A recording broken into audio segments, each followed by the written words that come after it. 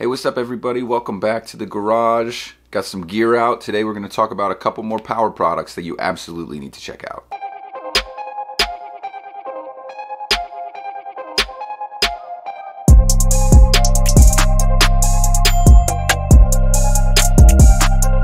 So, as you can see, we got the command center back out again. I really should have just done all of this at the same time now that I'm thinking about it. Just so I can show you my power conditioner. So this is a Furman power conditioner. It also has a voltmeter built into it. This is a pretty hefty product coming in at over 12 pounds. It is rack mountable, so you have the 19 inch wide and it's only about 10 inches deep and then just one U rack of height. This has been great for me and for all my assistants working with because it does have eight power plugs on the back.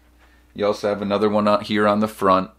It's got your cool little rack lights that are super helpful if you're in a super dark room. And if you are plugging it into a front and back rack, it actually has an option for a gooseneck light on the back to help you kind of see everything that's going on back there too. This was a pretty easy buy for me because I wanted to have all of the things in here. So I have my two mics and of course my mixer. I wanted to be able to have those left plugged in and with just the flip of a switch have it all power on. So that was an easy fix for everything that would be up on top of this rack. So you're talking about my mixer, talking about my laptop power, which you can see right here, kind of left plugged in. It's all very quick and easy to just plug a couple things in in between and then flip the switch and it's all good to go. The main reason that you have this power conditioner, while it might be a little bit of overkill for us DJs with just the amount of stuff that we run is that you do get a good look at the voltage range that you're pulling from the wall. And you also get to see the live current coming through, which is pretty fun too. I don't know shit about power really. I'm trying to figure it all out now. So this is this is a good start. it does have a couple options for dimming the light too, which I kind of really like.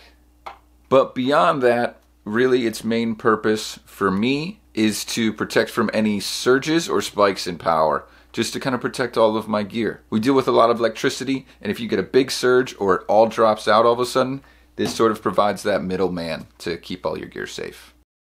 This is not a power strip. This is way, way better than a power strip. A surge protector cannot protect all your gear from some of the crazy surges and spikes that you get. Of course, it provides a little in between, but that's the kind of shit that I use for my Christmas lights outside. I'm not trying to protect $10,000 worth of gear with.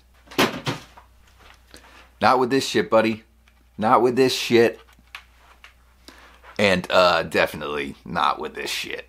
So, yeah, it's a great way to protect all your gear. It's also really cool to just flip a switch and have everything turn on. I really love it because it's shallow enough that it fits into my command center. Granted, it's heavy as shit, so it kind of makes this whole unit pretty heavy, but you know, I'm working on my gains right now, so. But also, you just gotta protect your stuff. You know, it truly is an investment. Right now, this thing's actually super discounted. I don't know if it's for Black Friday or what, or Cyber Monday, whatever, but you can buy it through Amazon from other distributors for up to 54% off. So I'm a little pissed. I actually might buy another one of these. I think I originally bought it for like $350.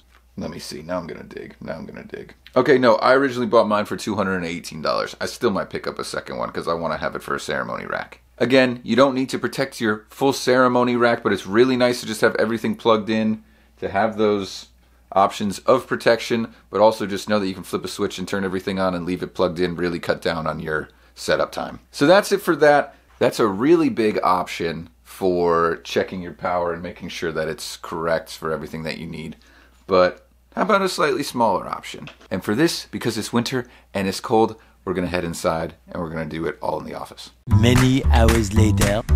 All right, welcome back into the office. A little bit of warmth again. So, the other product that I wanted to talk about today to continue from our five power products that every DJ needs this is simply an outlet tester. So, the main goal of this is to be able to test outlets if you're in an older building, something that you have to deal with in the Northeast a lot, specifically Pennsylvania and New Jersey. A lot of times, some of these are really old buildings that were built off of or renovated or added on top of in order to turn it into a proper wedding venue. Not every venue out here is just four walls put up on a lovely plot of land. So a lot of times we run into the issues of does this outlet work? Does that outlet work? Do we have to go to the one around the corner? Does it have enough power for the stuff we need to bring?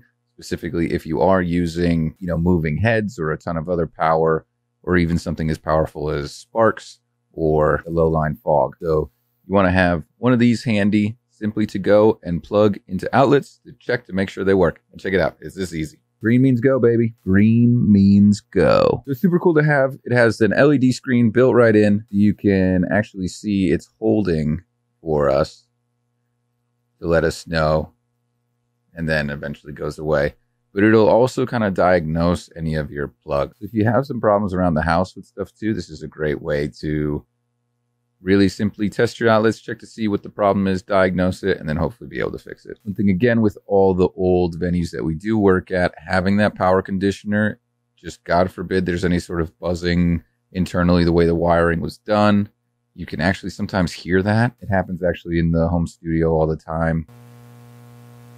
But number one, having that power conditioner is going to make it a whole lot smoother sounding. So you won't get a lot of that buzz which you can read a lot of the reviews online about it. But also having this little guy is going to help you find what that problem is, that you can diagnose it, and then hopefully just be able to fix it and make everything sound super sweet the way my office does. I won't lie though, every once in a while I get a little buzzing in my headphones. I think it's just because of my GoXLR, probably because of the power from my PC, but whatever. Yeah, that's two additional power products that every DJ needs. Hopefully you've learned something today. Again, I am not an electrician.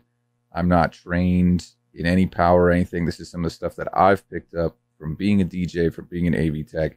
So if you learned something today, or if I totally messed something up, please let me know in the comments below. It'd be really helpful for me. I'm trying to use this platform as a way for me to grow. And also, if you could do me the favor, and it's truly free 99, all you got to do is click the like button and hit that subscribe if you haven't already.